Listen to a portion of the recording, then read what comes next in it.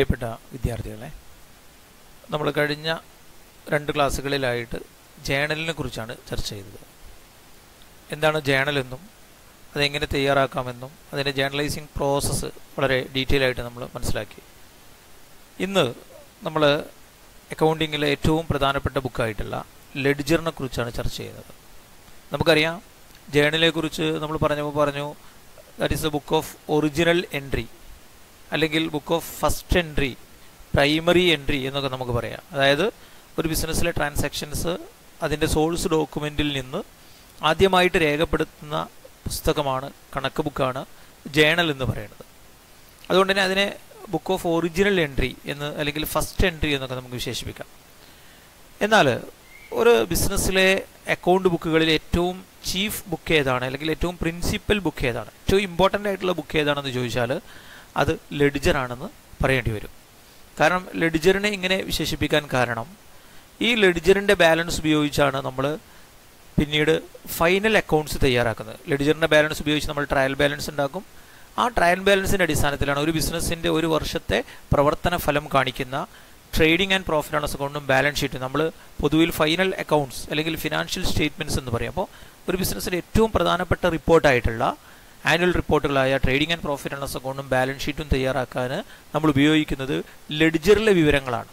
എന്നതുകൊണ്ട് തന്നെയാണ് ലെഡ്ജറിനെ ഏറ്റവും പ്രധാനപ്പെട്ട ചീഫ് ബുക്ക് അല്ലെങ്കിൽ പ്രിൻസിപ്പൽ ബുക്ക് എന്ന് പറയാൻ കാരണം. ഇനി ഇന്ന് നമ്മൾ എന്താണ് ലെഡിജർ എന്നും അതുപോലെ തന്നെ ഈ ലെഡിജറിന്റെ പ്രിപ്പറേഷൻ എങ്ങനെയെന്നും വളരെ വിശദമായിട്ട് ചർച്ച ചെയ്യും. അപ്പോൾ നമുക്ക് ലെഡിജർ എന്താണെന്ന് നോക്കാം. After recording the business transaction in the journal the next step is to transfer the entries to the respective accounts in the ledger അതായത് ബിസിനസ്സിന്റെ ഇടപാടുകൾ ജേണലിൽ റെക്കോർഡ് ചെയ്തതിന് ശേഷം അടുത്ത ഘട്ടം എന്ന് പറയുന്നത് ലെഡിജറിലെ ബന്ധപ്പെട്ട അക്കൗണ്ടുകളിലേക്ക് എൻട്രികൾ മാറ്റി എഴുതുക എന്നുള്ളതാണ്. നമുക്കറിയാം ഒരു ബിസിനസ്സിൽ നടക്കുന്ന ഇടപാടുകൾ ആദ്യം നമ്മൾ ജേണലിലാണ് എഴുതുന്നത്. ഈ ജേണലിൽ എല്ലാം എൻട്രികളും എഴുതി പൂർത്തിയാക്കിയിട്ടുള്ള ശേഷം അടുത്ത ഘട്ടം എന്ന് പറയുന്നത് ആ ജേണലിൽ എഴുതിയ എൻട്രികൾ ലെഡിജർ എന്ന് പറയുന്ന ബുക്കിന്റെ വിവിധ അക്കൗണ്ടുകളിലേക്ക് ലെഡിജറിൽ ഒരുപാട് പേജുകൾ ഉണ്ടാവും. അപ്പോൾ നിങ്ങൾക്ക് ഇവിടെ ഒരു ബുക്ക് കാണാം. അതൊരു ലെഡിജറിന് എക്സാമ്പിൾ ആകും. നിങ്ങൾക്കറിയാം എല്ലാ ബിസിനസ് സ്ഥാപനങ്ങളും ഇങ്ങനെ വലിയൊരു ബുക്കാണ് ലെഡിജറായിട്ട് കീപ്പ് ചെയ്യുക. അപ്പോൾ ഈ ലെഡിജറിന്റെ ഓരോ പേജുകളും നമ്മൾ ഓരോ അക്കൗണ്ടുകളായിട്ട് ആണ് മാറ്റുക. ഓരോ അക്കൗണ്ടുകൾക്ക് വേണ്ടിയിട്ട് ഓരോ ലെഡിജറിന്റെ ഓരോ പേജ് യൂസ് ചെയ്യാണ് ചെയ്യുക. ഓക്കെ അപ്പോൾ ഇവിടെ നമുക്ക് പിന്നെ ജേണലിൽ നമ്മൾ എഴുതിയിരിക്കുന്ന ഇടപാടുകൾ ആ ജേണൽ എൻട്രികൾ നമ്മൾ ജേണൽ എൻട്രി ഒക്കെ എഴുതിയ ശേഷം പിന്നീട് മാറ്റി എഴുതുന്ന ബുക്കാണ് ലെഡ്ജർ എന്ന് പറയുന്നത്. ഓക്കെ? ഒരിക്കൽ നമ്മൾ ജേണലിൽ എഴുതിയിരിക്കുന്ന എൻട്രികൾ പിന്നീട് ട്രാൻസ്ഫർ ചെയ്യുന്നത് ലെഡ്ജറിലേക്കല്ല. ലെഡ്ജറിലേക്ക് എഴുതുമ്പോഴുള്ള പ്രത്യേകത എന്ന് പറഞ്ഞാൽ ഓരോ അക്കൗണ്ടുകളും സെപ്പറേറ്റ് സെപ്പറേറ്റ് ആയിട്ട് ലെഡ്ജറിൽ നമുക്ക് കാണാൻ കഴിയും. ഒരു ഉദാഹരണം പറഞ്ഞാൽ ഇപ്പോൾ സ്റ്റാർട്ടഡ് ബിസിനസ് എന്നുള്ളതിന്റെ എൻട്രി നമുക്കറിയാം. എന്താ cash account at to capital എന്നാണ്. അല്ലേ? എന്നാൽ അത് ലെഡ്ജറിലേക്ക് വന്നു കഴിഞ്ഞാൽ നമുക്ക് കാണാം ക്യാഷ് അക്കൗണ്ട് എന്ന് പറഞ്ഞിട്ടൊരു അക്കൗണ്ട് ഉണ്ടാകും. അതുപോലെ തന്നെ ക്യാപിറ്റൽ അക്കൗണ്ട് എന്ന് പറഞ്ഞിട്ട് വേറൊരു അക്കൗണ്ട് ഉണ്ടാകും. അപ്പോൾ എന്ത് ചെയ്യും? ബിസിനസ് ഇടപാടുകളിൽ ജേണലിൽ റെക്കോർഡ് ചെയ്ത ശേഷം അടുത്ത ഘട്ടമായിട്ട് നമ്മൾ ലെഡ്ജറിലെ ബന്ധപ്പെട്ട അക്കൗണ്ടുകളിലേക്ക് എൻട്രികൾ മാറ്റി എഴുതും അതായത് ഇപ്പം നേരത്തെ നമ്മൾ പറഞ്ഞ ക്യാഷ് അക്കൗണ്ട് ഡെറ്റർ എന്ന് പറഞ്ഞ് നമ്മൾ എഴുതിയ എമൗണ്ട് അത് ക്യാഷ് അക്കൗണ്ടിലേക്ക് എടുത്തെഴുതും. അതേപോലെ തന്നെ ക്യാപിറ്റൽ അക്കൗണ്ട് എന്ന് പറഞ്ഞിട്ടുള്ള എമൗണ്ട് ക്യാപിറ്റൽ അക്കൗണ്ടിലേക്ക് എഴുതും ഇങ്ങനെ ജേണലിൽ രേഖപ്പെടുത്തിയിരിക്കുന്ന എൻട്രികളെ ബന്ധപ്പെട്ട അക്കൗണ്ടുകളിലേക്ക് മാറ്റി എഴുതുന്നതിന് വേണ്ടിയിട്ടാണ് നമ്മൾ ലെഡ്ജർ പ്രിപ്പയർ ചെയ്യുന്നത്. ഓക്കെ ഇനി നമുക്ക് ലെഡ്ജർ എന്താണെന്നുള്ളത് ഒന്നുകൂടി ഡീറ്റെയിൽ ആയിട്ട് നോക്കാം. Ledger is a book which contain various accounts ലെഡ്ജറിന്റെ പ്രത്യേകത എന്ന് പറഞ്ഞാൽ അതിൽ വ്യത്യസ്ത അക്കൗണ്ടുകൾ അടങ്ങിയിരിക്കുന്ന ഒരു ബുക്കാണത്. ഒരു സ്ഥാപനത്തിൽ വിവിധ അക്കൗണ്ടുകൾ ഉൾക്കൊള്ളുന്ന ഒരു പുസ്തകമാണ് ലെഡ്ജർ എന്ന് പറയുന്നത്. In simple words ledger is a set of accounts നമ്മൾ ഒരു ലളിതമായിട്ട് പറഞ്ഞാൽ ലെഡ്ജർ എന്ന് പറഞ്ഞത് ഒരു കൂട്ടം അക്കൗണ്ടുകളാണ്. അതായത് പറഞ്ഞല്ലോ. ജേണൽ എൻട്രിക്ക് ശേഷം പിന്നെ മാറ്റിയിടുന്ന ബുക്കാണ് അപ്പോൾ ലെഡ്ജർ എന്ന് പറയുന്ന ബുക്കിൽ ഒരു കളക്ഷൻ ഓഫ് അക്കൗണ്ട്സ് ആണല്ലോ ഒരു സെറ്റ് ഓഫ് അക്കൗണ്ട്സ് ഒരു കൂട്ടം അക്കൗണ്ടുകളാണ് അതിലുള്ളത്. Okay then it includes all accounts of the business enterprise ആ ബിസിനസ് സ്ഥാപനത്തിലുള്ള അല്ലെങ്കിൽ ആ ബിസിനസ് സ്ഥാപനത്തിൽ നമ്മൾ ഓപ്പൺ ചെയ്തിട്ടുള്ള മുഴുവൻ അക്കൗണ്ടുകളും ഇതിലുണ്ടാവും ലെഡ്ജറിലുണ്ടാവും ബിസിനസ് സ്ഥാപനത്തിന്റെ എല്ലാ അക്കൗണ്ടുകളും ഉൾക്കൊള്ളുന്ന പ്രധാനപ്പെട്ട ബുക്കാണ് ലെഡിജർ എന്ന് പറയുന്നത്. അപ്പോൾ ലെഡിജർ എന്ന് പറഞ്ഞാൽ വിവിധ അക്കൗണ്ടുകൾ ഉൾക്കൊള്ളുന്ന ഒരു പുസ്തകമാണ്. ആ ബിസിനസ് സ്ഥാപനത്തിന്റെ മുഴുവൻ അക്കൗണ്ടുകളും ഉൾക്കൊള്ളുന്ന ഒരു പുസ്തകമാണ് ലെഡിജർ എന്ന് പറയുന്നത്. ഇനി അക്കൗണ്ട് എന്നുള്ളത് നമുക്ക് ഒന്നുകൂടി പരിശോധിക്കാം. അക്കൗണ്ട്. അതായത് ഇനി simplest form an account look like the letter T അതായത് ഏറ്റവും പിന്നെ ലളിതമായിട്ട് രൂപത്തിൽ നമ്മൾ പറയുകയാണെങ്കിൽ ഒരു അക്കൗണ്ട് എന്ന് പറയുന്നത് വരക്കുന്നത് ഇംഗ്ലീഷ് അക്ഷരമാലയിലെ ടി എന്ന് പറയുന്ന അക്ഷരം പോലെയാണ്. എന്താ നമുക്ക് ശേഷം പരിശോധിക്കട്ടോ. ഇംഗ്ലീഷ് അക്ഷരമാലയിൽ ടി ആൽഫബറ്റ്സിൽ ടി എന്ന് പറയുന്ന അക്ഷരം പോലെയാണ് ശരിക്കും ഒരു അക്കൗണ്ട് എന്ന് പറയുന്നത്. ഈ ഫോമിന്റെ പ്രത്യേകത എന്ന് പറയുന്നത് T format has left hand side and right hand side ഇപ്പോൾ നമ്മൾ ടി നോക്കി നമുക്ക് മനസ്സിലാക്കാം. അതിന് എന്തുണ്ട്? ഈ ടീക്ക് രണ്ട് സൈഡുകളുണ്ടല്ലോ ഇത് നമ്മുടെ നമ്മുടെ ലെഫ്റ്റ് ഹാൻഡ് സൈഡാണിത് അതേപോലെ ഇത് റൈറ്റ് ഹാൻഡ് സൈഡാണ് ആ ലെഫ്റ്റ് ഹാൻഡ് സൈഡിലും റൈറ്റ് ഹാൻഡ് സൈഡിലും ആയിക്കൊണ്ടാണ് നമ്മൾ ഒരു ഐറ്റത്തിന് വരുന്ന ഇൻക്രീസും ഡിക്രീസും രേഖപ്പെടുത്തുന്നത്. ഒരു അക്കൗണ്ടിന്റെ ഇൻക്രീസ് ആണോ ഡിക്രീസ് ആണോ എന്നുള്ളത് നമ്മൾ തീരുമാനിച്ചിട്ട് അത് രേഖപ്പെടുത്തുന്നത് ഈ അക്കൗണ്ടിന്റെ ലെഫ്റ്റ് സൈഡിൽ അല്ലെങ്കിൽ റൈറ്റ് സൈഡിലാണ് അക്കൗണ്ടിങ് റൂൾ അനുസരിച്ച് നമ്മൾ അത് രേഖപ്പെടുത്തുന്നത്. ഇനി ഇതിന്റെ T account the left side is called debit side abbreviated as debtor ഞാൻ പറഞ്ഞുതരാം ശേഷം. അതായത് ഈ ടി എന്ന് പറയുന്ന ഈ അക്കൗണ്ടിന്റെ ലെഫ്റ്റ് സൈഡിനെയാണ് നമ്മൾ ഡെബിറ്റ് സൈഡ് എന്ന് പറയുന്നത് റൈറ്റ് സൈഡിനെയാണ് നമ്മൾ എന്ത് പറയുക ക്രെഡിറ്റ് സൈഡ് എന്ന് പറയുന്നത് ഓക്കെ ലെഫ്റ്റ് സൈഡിനെ ഡെബിറ്റ് സൈഡ് എന്നും റൈറ്റ് സൈഡിനെ ക്രെഡിറ്റ് സൈഡ് എന്നും പറയും. അപ്പോൾ പിന്നെ നമുക്ക് ഈ രണ്ട് സൈഡുകൾ ഈ ടി എന്ന് പറയുന്ന ഈ ഫോമാറ്റിന് ഉണ്ടെന്ന് മനസ്സിലായി. ഇതിന് ഡെബിറ്റ് സൈഡിനെ നമ്മൾ സോറി റൈറ്റ് സൈഡ് ലെഫ്റ്റ് സൈഡിനെ ഡെബിറ്റ് സൈഡ് എന്ന് പറയും. ചുരുക്കത്തിൽ ഡി ആർ ഡെറ്റർ അതായത് ഡെബിറ്റ് എന്ന് പറഞ്ഞിട്ട് ഇങ്ങനെയാണ് നമ്മൾ സൂചിപ്പിക്കുക. ഈ ഡെബിറ്റ് സൈഡിനെ സൂചിപ്പിക്കാൻ വേണ്ടിയിട്ട് ഡി ആർ എന്ന് പറയുന്ന ഈ ഷോർട്ട് നെയിമാണ് അബ്രീവിയേഷനാണ് യൂസ് ചെയ്യുക. അതേപോലെ ക്രെഡിറ്റ് സൈഡിനെ സൂചിപ്പിക്കാൻ സി ആർ എന്ന് പറയുന്ന അബ്രീവിയേഷൻ സൂചിപ്പിക്കുക. ഇനി ഇത്രയും പറഞ്ഞ കാര്യങ്ങൾ നിങ്ങൾക്ക് വളരെ പെട്ടെന്ന് ഈ അക്കൗണ്ട് കാണുന്ന സമയത്ത് മനസ്സിലാവും. അപ്പോൾ നോക്കുക നമ്മൾ ഇങ്ങനെയാണ് അക്കൗണ്ട് വരയ്ക്കുന്നത്. ഒരു ടീയുടെ രൂപത്തിലാണ്. ഇനി അത് ഇങ്ങനെ നമ്മൾ കോളംസ് പ്രൊവൈഡ് ചെയ്യണം. ഇതൊക്കെയാണ് അതിലെ കോളങ്ങൾ വരുന്നത്. ഞാൻ കാണിക്കാം. ഇപ്പോൾ രണ്ട് സൈഡുകളിലായിട്ട് നമുക്ക് ആദ്യം ഡേറ്റ് ദെൻ പർട്ടിക്കുലേഴ്സ് ഇവിടെ നോക്ക് ജേണൽ ഫോളിയാണ് ജേണൽ നമ്മൾ ലെഡിജർ ഫോളി എഴുതിയത് ജേണലിൽ എഴുതുമ്പോൾ ലെഡിജറിലെ പേജ് നമ്പർ എഴുതുന്നുണ്ട്. ഇവിടെ പിന്നെ ജേണൽ ഫോളിയോ കാണിക്കാൻ കാരണം എന്താ? ഇത് ലെഡിജറാണ് അപ്പോൾ ലെഡിജറിൽ നമ്മൾ എഴുതുമ്പോൾ ജേണലിന്റെ പേജ് നമ്പർ എഴുതുക. ഓക്കെ ദെൻ എമൗണ്ട് എമൗണ്ട് എന്നുള്ളത് സൂചിപ്പിക്കാൻ നമ്മൾ എമൗണ്ട് എന്ന് എഴുതുക അല്ലെങ്കിൽ ഈ റുപ്പീസിന്റെ സിമ്പിൾ ഇട്ടാലും മതി.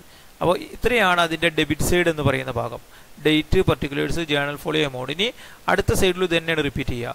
Date particulars journal folio amount ഇങ്ങനെ രണ്ട് സൈഡുകളാണ് ഇതിനുള്ളത്. ഒരു ടി ഫോമാറ്റിൽ ഇപ്പോൾ നമ്മൾക്ക് ടീമായിരുന്നു തോന്നില്ല പക്ഷേ ബേസിക്കലി ഇതൊരു ടി ഫോമാറ്റിലെ അക്കൗണ്ടാണ് ഇനി ഈ ലെഫ്റ്റ് സൈഡ് നമ്മൾ നേരത്തെ പറഞ്ഞല്ലോ ഈ ലെഫ്റ്റ് സൈഡിനെയാണ് നമ്മൾ ഡെബിറ്റ് സൈഡ് എന്ന് പറഞ്ഞാൽ ലെഫ്റ്റ് സൈഡ് എന്ന് ഒരിക്കലും പറയരുതിട്ടാ നമ്മൾ ഡെബിറ്റ് സൈഡ് തന്നെയാണ് അക്കൗണ്ടിങ്ങിൽ എപ്പോഴും ഉപയോഗിക്കുക. ആദ്യം നിങ്ങൾക്ക് മനസ്സിലാക്കി തരാൻ വേണ്ടിയിട്ടാണ് ലെഫ്റ്റ് സൈഡ് എന്ന് പറഞ്ഞത്. അപ്പോൾ ഇതിനെ ഡെബിറ്റ് സൈഡ് എന്ന് പറയും. ഈ റൈറ്റ് സൈഡിനെ നമ്മൾ ക്രെഡിറ്റ് സൈഡ് എന്ന് പറയും. ഇങ്ങനെ ഇങ്ങനെയാണ് ഒരു അക്കൗണ്ടിന്റെ ഫോമാറ്റ് എന്ന് പറയുന്നത്. ഓക്കെ?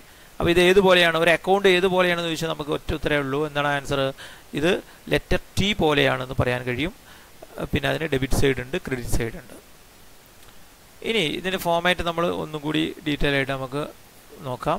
വരയ്ക്കുന്നത് നിങ്ങൾ ശ്രദ്ധിക്കുക. ടി പോലെ വരച്ചതിന് ശേഷം പിന്നെ ഇങ്ങനെ ഒരു ഡേറ്റ് കോളം കൊടുക്കുന്നു. ദെൻ നമ്മളൊരു ജേണൽ ഫോളിയോ കൊടുക്കുന്നു.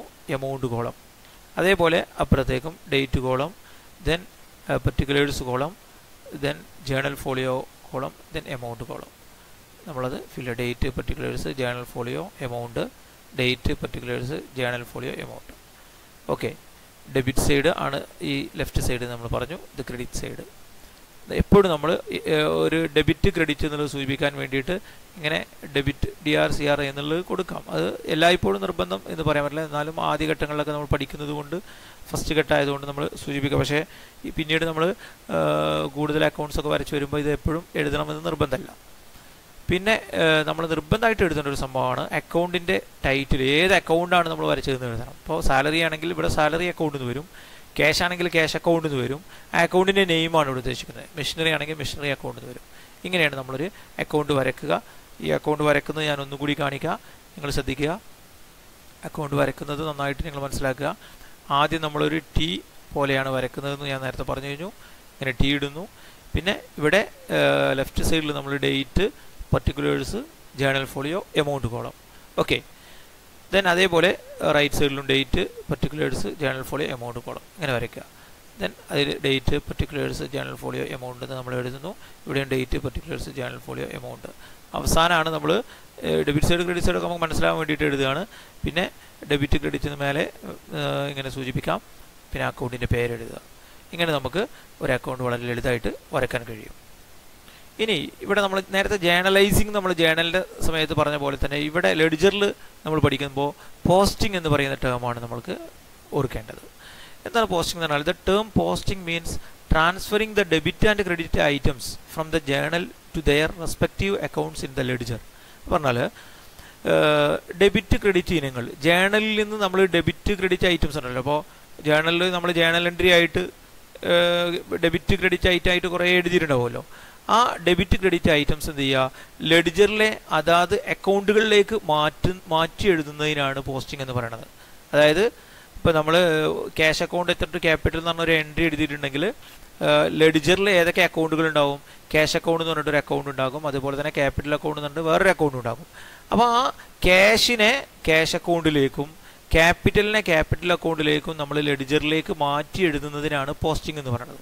The process of transferring entries from journal to ledger എന്ന് നമുക്ക് പറയാം. അതായത് ജേണലിൽ നിന്ന് ലെഡിജറിലേക്ക് ഓരോ എൻട്രികളും നമ്മൾ മാറ്റി എഴുതുന്നതിനാണ് പോസ്റ്റിംഗ് എന്ന് പറയുന്നത്.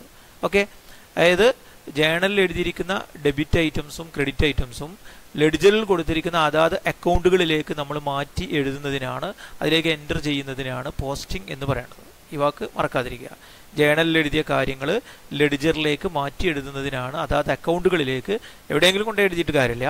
ഓരോ അക്കൗണ്ടും ശരിക്കും ശ്രദ്ധിച്ച് അതാത് അക്കൗണ്ടിലേക്ക് തന്നെ കൃത്യമായിട്ട് എഴുതുന്നതിനെയാണ് ട്രാൻസ്ഫർ ചെയ്യുന്നതിനെയാണ് നമ്മൾ പോസ്റ്റിംഗ് എന്ന് പറയുന്നത്. ഇനി റൂൾസ് റിഗാർഡിംഗ് പോസ്റ്റിംഗ് ആണ്. അതായത് ഇങ്ങനെ ജേണലിലേക്ക് ഇടപാടുകൾ നമ്മൾ രേഖപ്പെടുത്തുമ്പോൾ അക്കൗണ്ടന്റ് പാലിക്കേണ്ട നിയമങ്ങളാണ് നിബന്ധനകളാണ്.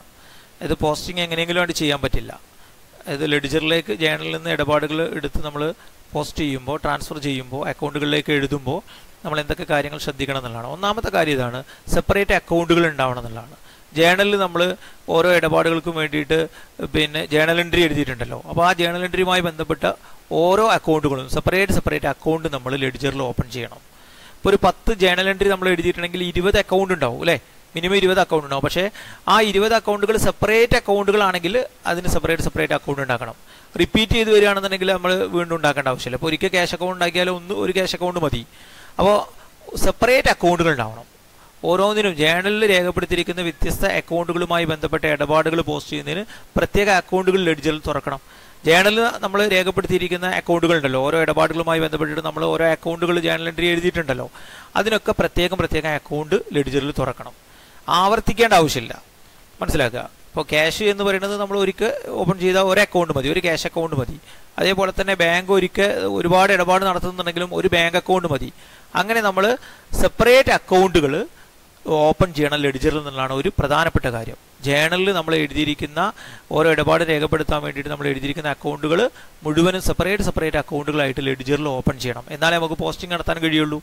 ശരിയല്ലേ? ഒരു ജേണൽ എൻട്രി എടുത്ത് ലെഡിജറിലേക്ക് എഴുതണമെങ്കിൽ ആ ട്രാൻസാക്ഷനുമായി ബന്ധപ്പെട്ട അക്കൗണ്ട് ലെഡിജറിൽ ഉണ്ടാകണം. അപ്പോൾ നിർബന്ധമായിട്ടും ലെഡ് ജേണലിൽ രേഖപ്പെടുത്തിയിരിക്കുന്ന അത്രയും അക്കൗണ്ടുകൾ ലെഡ്ജറിൽ ഓപ്പൺ ചെയ്യണം. ഒന്നാമത്തെ കാര്യം അതാണ്. രണ്ട് the concern account which has been debited in the journal should also be debited in the ledger ഈസിയാണ് അതായത് ജേണലിൽ നമ്മൾ ഡെബിറ്റ് ചെയ്ത അതേ അക്കൗണ്ട് തന്നെ ലെഡ്ജറിലും എന്ത് തന്നെ ചെയ്യേണ്ടത് ഡെബിറ്റ് ചെയ്യണം. ജേണലിൽ ഡെബിറ്റ് ചെയ്ത ബന്ധപ്പെട്ട അക്കൗണ്ട് ലെഡ്ജറിലും ഡെബിറ്റ് തന്നെയാണ് ചെയ്യേണ്ടത് how a reference should be made on the of the other account which has been credited in the journal പക്ഷെ ഒരു കാര്യം ശ്രദ്ധിക്കേണ്ടത് നമ്മൾ ജേണലിൽ ഡെബിറ്റ് ചെയ്തത് അതേ അക്കൗണ്ട് ലെഡ്ജറിലും ഡെബിറ്റ് തന്നെയാണ് ചെയ്യേണ്ടത്. പക്ഷേ നമ്മൾ അവിടെ സൂചിപ്പിക്കേണ്ട ഒരു കാര്യം ഇപ്പം നമ്മൾ പിന്നെ ഉദാഹരണം പറഞ്ഞാൽ cash account debtor to capital account എന്ന് പറഞ്ഞാൽ അവിടെ ഏത് അക്കൗണ്ടിനെ ഡെബിറ്റ് ചെയ്യുന്നത്? ക്യാഷ് അക്കൗണ്ടിനെയാണല്ലോ അപ്പോൾ ക്യാഷ് അക്കൗണ്ട് നമ്മൾ വരച്ചിട്ട് ക്യാഷ് അക്കൗണ്ടിൽ ഡെബിറ്റ് തന്നെയാണ് കൊടുക്കേണ്ടത്. പക്ഷെ ഒരു കാര്യമുള്ളത് ആ ക്യാഷ് അക്കൗണ്ടിന്റെ ഡെബിറ്റ് സൈഡിൽ നമ്മൾ അതർ അക്കൗണ്ട് ഇപ്പോൾ ക്രെഡിറ്റ് ചെയ്യപ്പെട്ട അക്കൗണ്ട് ഏതാ? ക്യാപിറ്റൽ അല്ലേ? ആ ക്യാപിറ്റൽ അക്കൗണ്ടിന്റെ പേരാണ് എഴുതേണ്ടത്. ആണ് ഇവിടെ പറയുന്നത്. അതായത് പിന്നെ ജേണലിൽ ക്രെഡിറ്റ് ചെയ്തിട്ടുള്ള മറ്റേ അക്കൗണ്ടിനെ കുറിച്ച് ഒരു റെഫറൻസ് നൽകണം. അങ്ങനെ പറഞ്ഞാൽ നമ്മൾ ഒരു അക്കൗണ്ട് ജേണലിൽ ഡെബിറ്റ് ചെയ്താൽ ലെഡിജറിലും ഡെബിറ്റ് തന്നെയാണ് ചെയ്യേണ്ടത്. പക്ഷേ എഴുതുന്ന സമയത്ത് മറ്റേ അക്കൗണ്ടിന്റെ പേരാണ് എഴുതേണ്ടത്. അത് നമുക്ക് ഈ എക്സാമ്പിളിൽ മനസ്സിലാക്കാം. ഉദാഹരണത്തിന് ഇപ്പോൾ salary paid for example for salaries paid ശമ്പളം കൊടുത്തത് salary account should be debited എന്ന് നിങ്ങൾക്ക് അറിയാം സാലറി അക്കൗണ്ട് എത്തിട്ട് ക്യാഷ് എന്നാണ്. അപ്പോൾ സാലറി അക്കൗണ്ടിന്റെ ഡെബിറ്റാണ് ചെയ്തിട്ടുള്ളത് ജേണലിൽ ലെഡ്ജറിലും അതേപോലെ തന്നെ സാലറി അക്കൗണ്ട് എന്ന് പറയുന്ന അക്കൗണ്ടിൽ ഡെബിറ്റ് തന്നെയാണ് ചെയ്യേണ്ടത്. But reference should be given of the cash account which has been credited in the journal പക്ഷേ നമ്മൾ എഴുതുന്ന സമയത്ത് അവിടെ ഈ സാലറി അക്കൗണ്ടിന്റെ ഡെബിറ്റ് സൈഡിൽ തന്നെയാണ് നമ്മൾ എഴുതേണ്ടത്. പക്ഷേ അവിടെ എഴുതുമ്പോൾ എന്താണ് എഴുതേണ്ടത്? ക്യാഷ് അക്കൗണ്ട് എന്നാണ്. ക്രെഡിറ്റ് ചെയ്യപ്പെട്ട അക്കൗണ്ടിന്റെ പേരാണ് നമ്മളവിടെ സൂചിപ്പിക്കേണ്ടത്. അപ്പോൾ ഈ ഉദാഹരണത്തിലേക്ക് വരും. അപ്പോൾ സാലറി അക്കൗണ്ട് എടുത്തിട്ട് ക്യാഷ് എന്ന് പറഞ്ഞ എൻട്രി ഈ സാലറി അക്കൗണ്ടിലേക്ക് എങ്ങനെ പോസ്റ്റ് ചെയ്യുക എന്ന് നമുക്ക് നോക്കാം. നമ്മൾ ഡേറ്റ് കോളത്തിൽ ഡേറ്റ് എഴുതി പിന്നെ ഡെബിറ്റ് സൈഡിലാണോ സാലറി അക്കൗണ്ടിന് എന്താ ചെയ്യേണ്ടത്? ഡെബിറ്റ് ആണ് ചെയ്യാൻ നമ്മളോട് ആവശ്യപ്പെട്ടുള്ളത് അപ്പോൾ നമ്മൾ ഏത് സൈഡിൽ എഴുതേണ്ടത്? ഒരു അക്കൗണ്ടിന് ഡെബിറ്റ് ചെയ്യുക എന്ന് പറഞ്ഞാൽ അതിനർത്ഥം അതിന്റെ ഡെബിറ്റ് സൈഡിൽ എഴുതുക എന്നാണ്.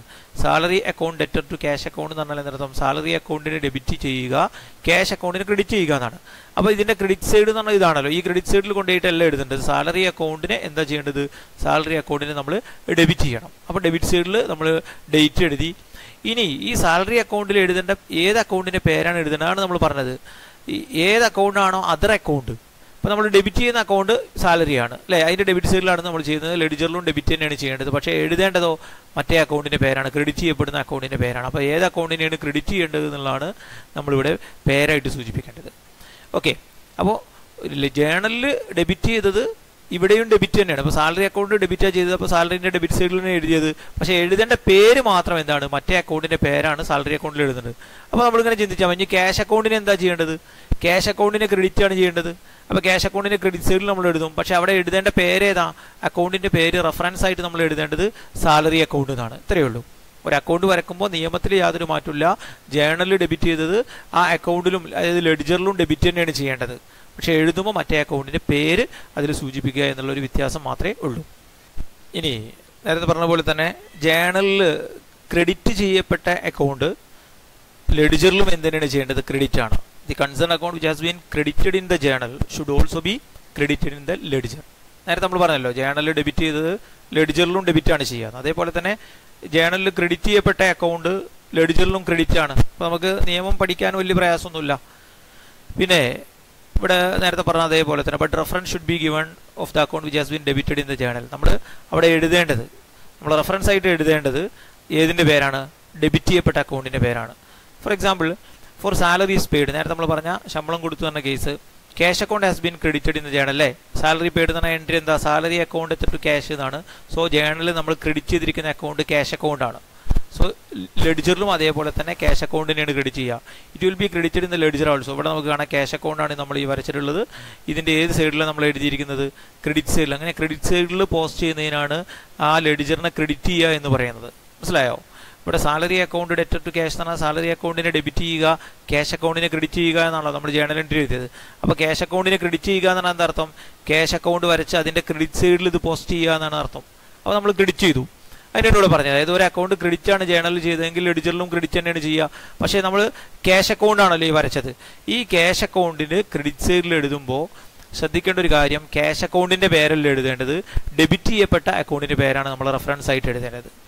അപ്പോൾ ഏതൊരു അക്കൗണ്ട് വരക്കുമ്പോഴും അതിനകത്തേക്ക് ആ അക്കൗണ്ടിന്റെ പേരല്ല എഴുതേണ്ടത്. മറ്റേ അക്കൗണ്ടിന്റെ ഇത് ജേണലിൽ നമ്മൾ എഴുതുമ്പോൾ ജേണൽ എൻട്രിയിലെ ഡെബിറ്റ് ചെയ്യപ്പെട്ട അക്കൗണ്ടാണ് നമ്മൾ വരക്കുന്നതെങ്കിൽ അതിന്റെ ക്രെഡിറ്റ് ചെയ്യപ്പെട്ട അക്കൗണ്ടിന്റെ പേരാണ് എഴുതേണ്ടത്. അതല്ല പിന്നെ ക്രെഡിറ്റ് ചെയ്യപ്പെട്ട അക്കൗണ്ടാണ് നമ്മൾ വരക്കുന്നതെങ്കിൽ അതിന്റെ ഡെബിറ്റ് ചെയ്യപ്പെട്ട അക്കൗണ്ടിന്റെ പേരാണ് നമ്മൾ റെഫറൻസ് ആയിട്ട് എഴുതേണ്ടത്. ഒരു അക്കൗണ്ടിൽ മറ്റേ അക്കൗണ്ടിന്റെ പേരാണ് നമ്മൾ റെഫറൻസ് ആയിട്ട് സൂചിപ്പിക്കേണ്ടതെന്ന് ചുരുക്കം. ജേണലിൽ ക്രെഡിറ്റ് ചെയ്യപ്പെട്ട ബന്ധപ്പെട്ട അക്കൗണ്ടിൽ എഡിജറിലും ക്രെഡിറ്റ് ചെയ്യണം. എന്നിരുന്നാലും ജേണലിൽ ഡെബിറ്റ് ചെയ്തിട്ടുള്ള മറ്റേ അക്കൗണ്ടിനെ കുറിച്ച് ഒരു റെഫറൻസ് നൽകണം. ഇതാണ് ഈ പറഞ്ഞതിന്റെ മീനിങ് അത്ര കൂടുതൽ കൺഫ്യൂഷൻ ഉണ്ടാക്കുന്ന ഒരു ഏരിയ അല്ല. നമ്മൾ പിന്നെ എൻട്രി നോക്കുക. എൻട്രിയിൽ ഏത് അക്കൗണ്ടാണോ ഡെബിറ്റ് ചെയ്യാൻ പറഞ്ഞിട്ടുള്ളത് അതിന്റെ ഡെബിറ്റ് സൈഡിൽ എഴുതുക. എഴുതുമ്പോൾ മറ്റേ അക്കൗണ്ടിന്റെ പേര് എഴുതുക.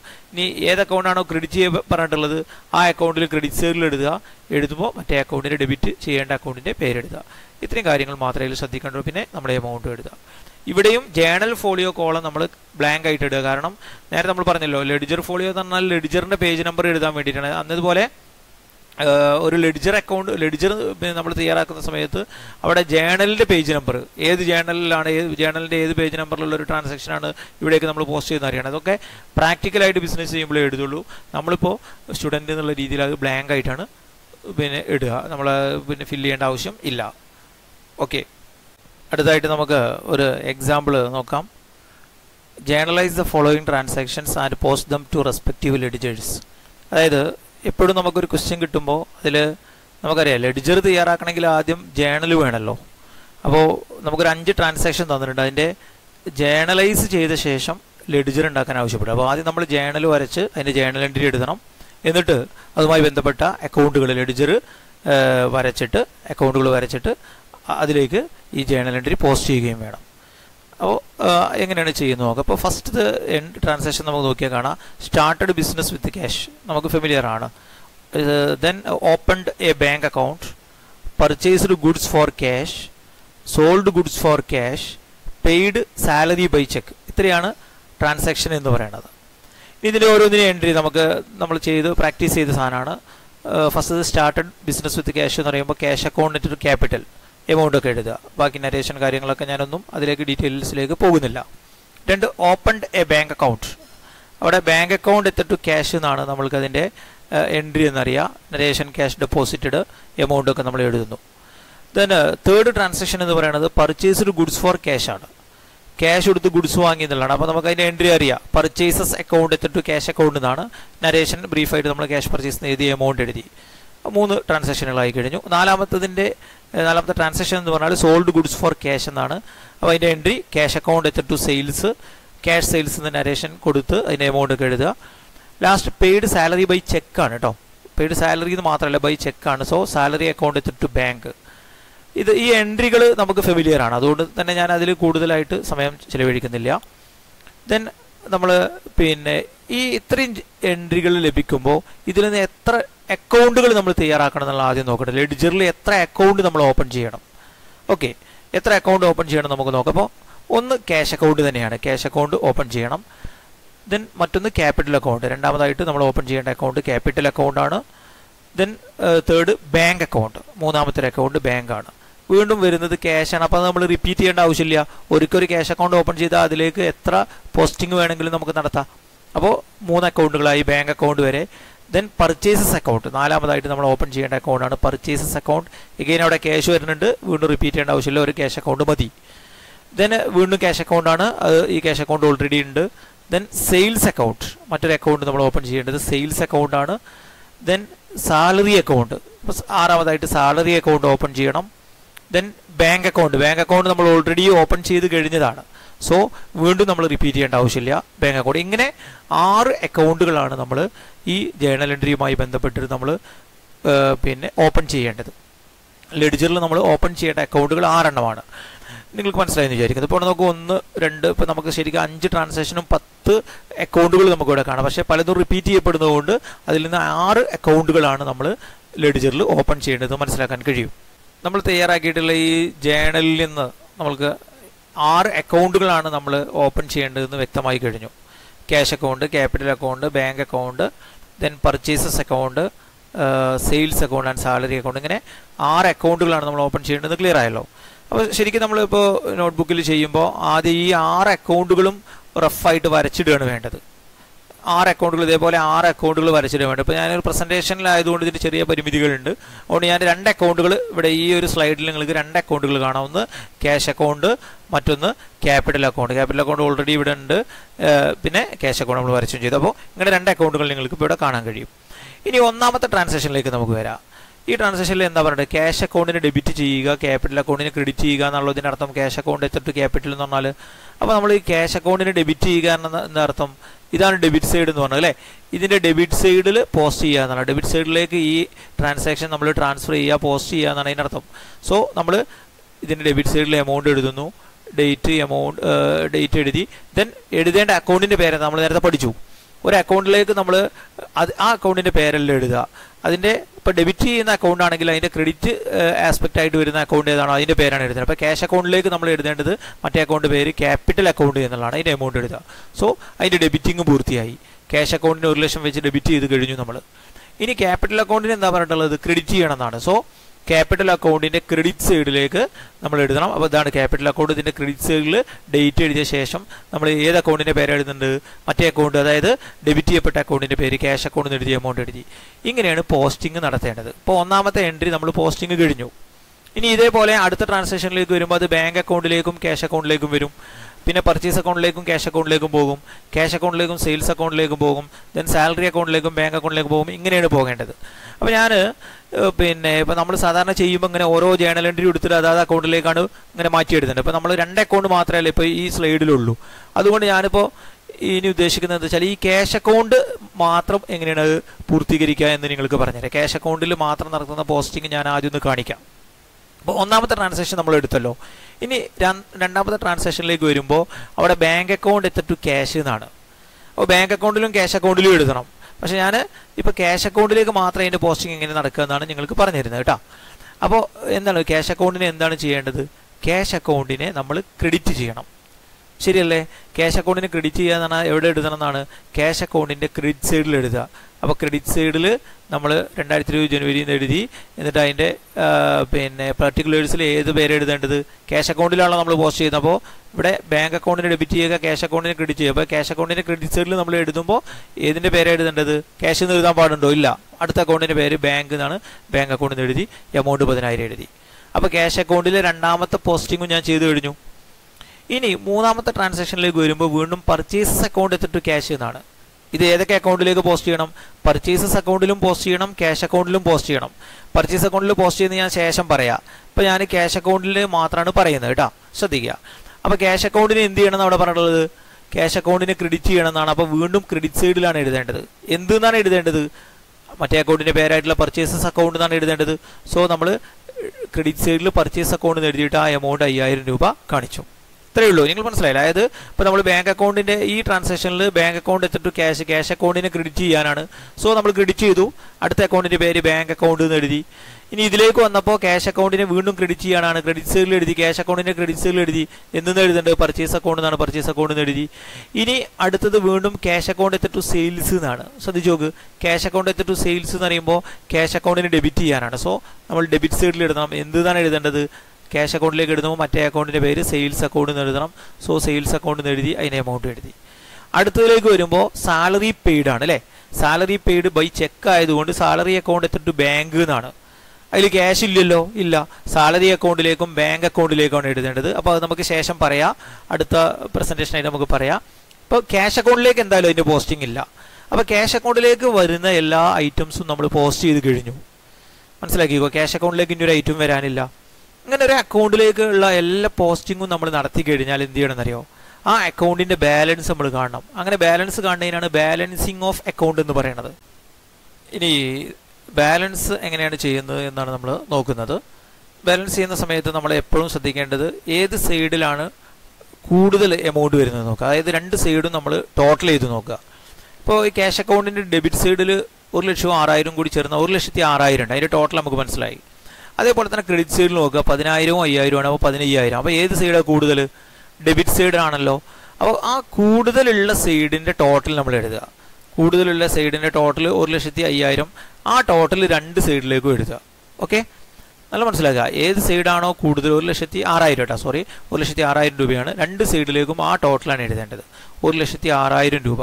അപ്പോൾ ഈ ടോട്ടൽ കൂടുതലുള്ള ഒരു ലക്ഷത്തി ആറായിരം ആണല്ലോ. ആ ഒരു ലക്ഷത്തി ആറായിരം എടുത്ത് അടുത്ത സൈഡിലേക്കും കൂടി എടുത്ത് എഴുതുക. ക്ലിയർ ആയില്ലേ?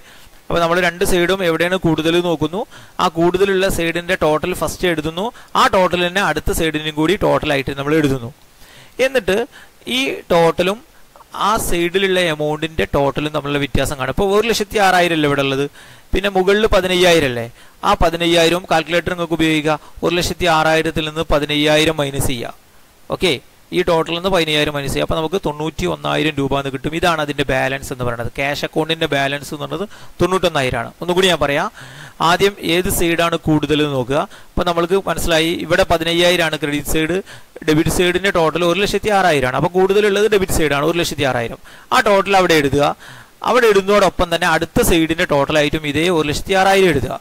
എന്നിട്ട് ഈ ഒരു ലക്ഷത്തി ആറായിരവും ക്രെഡിറ്റ് സൈഡിലുള്ള എമൗണ്ടിന്റെ ടോട്ടലായ പതിനയ്യായിരവും തമ്മിലുള്ള വ്യത്യാസം കാണും. അപ്പോൾ നമുക്ക് തൊണ്ണൂറ്റി ഒന്നായിരുന്നു കിട്ടി. അതിന് നേരെ നമ്മൾ ആ മാസത്തിന്റെ എൻഡിലാണ് നമ്മൾ സാധാരണ ക്ലോസിംഗ് ബാലൻസ് കാണുക. ബാലൻസ് ചെയ്യുന്ന ഒരു മാസത്തിന്റെ എൻഡിലാണ് സോ ജനുവരി മുപ്പത്തി ഒന്ന് എന്ന് കൊടുക്കുക. എന്നിട്ട് ബാലൻസ് ക്യാരി ഡൗൺ ഇങ്ങനെ സി ബാർ ഡി എന്നിട്ടാൽ അതിന്റെ ഫുള്ള് ക്യാരി ഡൗൺ എന്നാണ് ബാലൻസ് ക്യാരി ഡൗൺ എന്ന് എഴുതുക. അതോടുകൂടി രണ്ട് ലൈൻസ് ഇപ്പോൾ നമ്മൾ ഈ എമൗണ്ട് കോളത്തിന്റെ താഴെയായിട്ട് ഡബിൾ ലൈന് കൊടുക്കുക ക്ലോസ് ചെയ്യുക. ഇത്രയേ ഉള്ളൂ ക്യാഷ് അക്കൗണ്ടിന്റെ ബാലൻസിങ് എന്ന് പറയുന്നത്. ഓക്കെ അപ്പോൾ നമ്മൾ ആറ് അക്കൗണ്ട് ഓപ്പൺ ചെയ്യണം. അതിൽ നമ്മൾ രണ്ട് അക്കൗണ്ടുകളാണ് ഇവിടെ കാണിക്കുന്നത്. അതിൽ തന്നെ ക്യാഷ് അക്കൗണ്ടിൽ പോസ്റ്റിംഗ് മുഴുവനായിട്ട് ഞാൻ നിങ്ങൾക്ക് കാണിച്ചു തന്നു കഴിഞ്ഞു. ഇനി മറ്റ് അക്കൗണ്ടുകളിലേക്ക് നമ്മൾ പോവുകയാണ് ഇനി വേണ്ടത് bank account purchase account sales salary അതിൽ ബാങ്ക് അക്കൗണ്ടും പർച്ചേസ് അക്കൗണ്ടും ഇവിടെ ഉണ്ട്.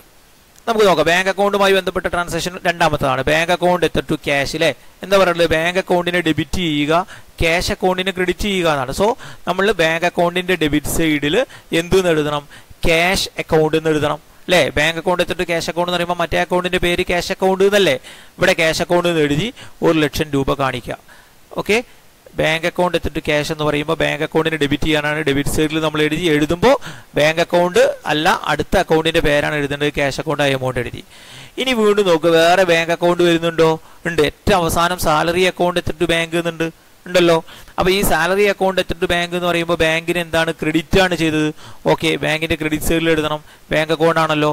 ക്രെഡിറ്റ് സൈഡിൽ എഴുതുമ്പോൾ ഏത് ബാങ്ക് എന്നല്ല എഴുതേണ്ട അടുത്ത അക്കൗണ്ടിന്റെ പേര് സാലറി എന്നാണ്. സാലറി എന്ന് എഴുതുക എമൗണ്ട് എഴുതുക. ഓക്കെ ഇനി നേരത്തെ പറഞ്ഞ പോലെ നമുക്ക് ഈ ബാങ്ക് അക്കൗണ്ട് ബാലൻസ് ചെയ്യാം. നേരത്തെ പോലെ ഏത് സൈഡാണ് കൂടുതൽ നോക്കുന്നത് നമുക്കറിയാം. ഇവിടെ വളരെ പെട്ടെന്ന് മനസ്സിലാവും. ഒരു ലക്ഷം ഡെബിറ്റ് സൈഡാണ് കൂടുതൽ. ആ ടോട്ടൽ തന്നെ അടുത്ത സൈഡിലേക്ക് കൊടുത്തെഴുതി കണ്ടില്ലേ? ഇവിടെ നാൽപ്പതിനായിരമേ ഉള്ളൂ. ഡെബിറ്റ് സൈഡിൽ ഒരു ലക്ഷം ഉണ്ട് അപ്പോൾ ആ ഒരു ലക്ഷം രണ്ട് സൈഡിലേക്ക് എഴുതി. ഇനി ഈ ഒരു ലക്ഷവും ക്രെഡിറ്റ് സൈഡും തമ്മിലുള്ള വ്യത്യാസം. എവിടെയാണോ കുറവുള്ളത് ആ സൈഡ് തമ്മിലുള്ള വ്യത്യാസമാണ്. ഒരു ലക്ഷത്തി നാൽപ്പതിനായിരം മൈനസ് ചെയ്തു അറുപതിനായിരം കിട്ടി. ഇനി ആ മാസത്തിന്റെ എൻഡിലുള്ള ഡേറ്റ് ജനുവരി മുപ്പത്തൊന്ന് ബാലൻസ് കയറി ഡൗൺ നേടുന്നതോടുകൂടി ബാങ്ക് അക്കൗണ്ട് എന്ത് ചെയ്തു? നമ്മൾ അതിന്റെ ബാലൻസ് കണ്ടു കഴിഞ്ഞു. ഇനി അടുത്തൊരു അക്കൗണ്ട് എന്ന് പറഞ്ഞാൽ പർച്ചേസ് അക്കൗണ്ട് ആണ്. ഇവിടെ നോക്കാം നമുക്ക്. പർച്ചേസ് എവിടെയാണ് എടുക്കുന്നത്? ഇതാ പർച്ചേസസ് അക്കൗണ്ട് എത്തിട്ട് ക്യാഷ് എന്നിട്ട് ഒരു ട്രാൻസാക്ഷനേ ഉള്ളൂ. സോ പർച്ചേസ് അക്കൗണ്ടിന് ഡെബിറ്റ് ചെയ്യണം പറഞ്ഞത്. സോ നമ്മൾ ഡെബിറ്റ് സൈഡിൽ എഴുതണം ഡേറ്റ് എഴുതി. എന്നിട്ട് പർച്ചേസ് അക്കൗണ്ടിലേക്ക് എഴുതുമ്പോൾ ഏത് അക്കൗണ്ടിന്റെ പേരാണ്? അടുത്ത അക്കൗണ്ടിന്റെ പേരാണ് എഴുതുന്നത്. ക്യാഷ് അക്കൗണ്ട് എഴുതി എമൗണ്ട് എഴുതി. ഇവിടെ നമ്മൾ പിന്നെ വേറെ എമൗണ്ടുകളൊന്നും വരാത്തത് കൊണ്ട് ബാലൻസ് ചെയ്യേണ്ട ആവശ്യമില്ല. ഒരു സൈഡിൽ മാത്രമേ എമൗണ്ട് ഉള്ളൂ. അപ്പോൾ അതേപോലെ ഇട്ടാൽ മതി. ഇനി നമുക്ക് ബാലൻസുള്ള അക്കൗണ്ട് എന്ന് പറയുന്നത് സെയിൽസ് അക്കൗണ്ടും സാലറി അക്കൗണ്ടുമാണ് ഓക്കെ ആ രണ്ട് അക്കൗണ്ടുകൾ എങ്ങനെയാണ് ചെയ്യുന്നത് നമുക്ക് നോക്കാം. അതിന്റെ പോസ്റ്റിംഗ് എങ്ങനെയാണ് നോക്കാം. ഇപ്പോൾ ഇവിടെ നമുക്ക് സെയിൽസ് എന്ന് പറഞ്ഞിട്ട് ഒരൊറ്റ ട്രാൻസാക്ഷനെ കാണുള്ളൂ. ക്യാഷ് അക്കൗണ്ട് വെച്ചിട്ട് സെയിൽസ് അല്ലേ അപ്പോൾ സെയിൽസ് അക്കൗണ്ടിന് എന്താ ചെയ്യാൻ പറഞ്ഞത്? ക്രെഡിറ്റ് ആണ്. സോ സെയിൽസ് അക്കൗണ്ടിന്റെ ക്രെഡിറ്റ് സൈഡിൽ നമ്മൾ ഡേറ്റ് എഴുതി. ഇനി സെയിൽസ് അക്കൗണ്ടാണല്ലോ എഴുതുന്നത്. അതിന്റെ കൂടെയുള്ള അടുത്ത അക്കൗണ്ടിന്റെ പേരെന്താ? ക്യാഷ് അക്കൗണ്ട് എന്നാണ്. അപ്പോൾ സെയിൽസ് അക്കൗണ്ടിന്റെ ക്രെഡിറ്റ് സൈഡിൽ ക്യാഷ് അക്കൗണ്ട് എഴുതി എമൗണ്ട് എഴുതി. ഇവിടെ ഒരു ട്രാൻസാക്ഷൻ ഉള്ളൂ. ബാലൻസിന്റെ ആവശ്യമില്ല. ബാലൻസിങ് ചെയ്യേണ്ടതില്ല. ഇനി അവസാനത്തെ അക്കൗണ്ട് എന്ന് പറഞ്ഞാൽ സാലറി അക്കൗണ്ടാണ് സാലറി അക്കൗണ്ട് ഒരൊറ്റ തവണയേ ഉള്ളൂ. അപ്പോൾ നമ്മൾ സാലറി അക്കൗണ്ടിൽ എഴുതി എന്ത് ചെയ്യണമെന്നാണ്? സാലറി അക്കൗണ്ടിനെ ഡെബിറ്റ് ചെയ്യുക ബാങ്ക് അക്കൗണ്ടിനെ ക്രെഡിറ്റ് ചെയ്യുക എന്നാണ്. അപ്പോൾ സാലറി അക്കൗണ്ടിനെ ഡെബിറ്റ് സൈഡിൽ എഴുതണം. ഏതുതാണ് എഴുതേണ്ടത്? അടുത്ത അക്കൗണ്ടായ ബാങ്ക് അക്കൗണ്ടിന്റെ പേരാണ് എഴുതേണ്ടത്. ഓക്കെ സാലറി അക്കൗണ്ടിൽ എഴുതേണ്ടത് അവിടെ നമ്മൾ മറ്റേ അക്കൗണ്ടിന്റെ പേരായിട്ട് ബാങ്ക് അക്കൗണ്ടാണ് എഴുതേണ്ടത്. നാലായിരം എഴുതി. ഇതും ബാലൻസ് ചെയ്യേണ്ട കാരണം ഒരേ എമൗണ്ടേ വരുന്നുള്ളൂ. അപ്പോൾ ഇങ്ങനെ നമ്മൾക്ക് എന്ത് ചെയ്യാൻ പറ്റും? ജേണൽ തയ്യാറാക്കിയതിന് ശേഷം വളരെ എളുപ്പത്തിൽ ലെഡിജറും തയ്യാറാക്കാൻ കഴിയും. അപ്പോൾ വളരെ ചെറിയൊരു ക്വസ്റ്റ്യനാണ് ഞാൻ നിങ്ങൾക്ക് പരിചയപ്പെടുത്തിയത്. ഇതിന്റെ കൂടുതൽ വിവരങ്ങൾ നമുക്ക് അടുത്ത ഡിസ്കഷനുകളിൽ നടത്താൻ കഴിയും. നിങ്ങൾ പ്രാഥമികമായിട്ട് ഇത്രയും കാര്യങ്ങൾ ലെഡിജർ എങ്ങനെയാണ് തയ്യാറാക്കുക എന്നുള്ളത് മനസ്സിലാക്കി വെക്കുക. ഓക്കെ? താങ്ക്